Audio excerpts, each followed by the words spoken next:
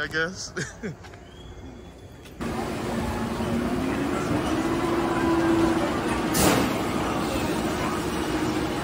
you from? I'm from Virginia. So it was like an eight and a half hour drive. Um, hold on, let me finish that. I'm just gonna get the show.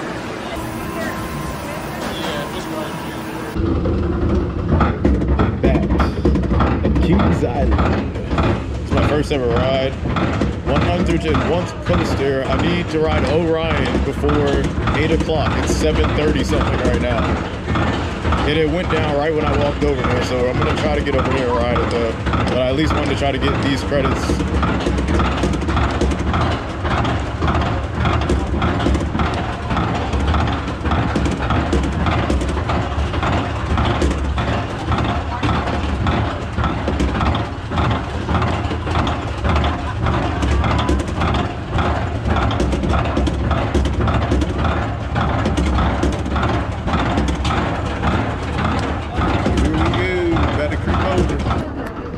Wow, this thing is slow as all get out. wow.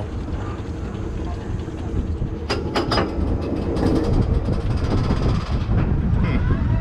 Here we go.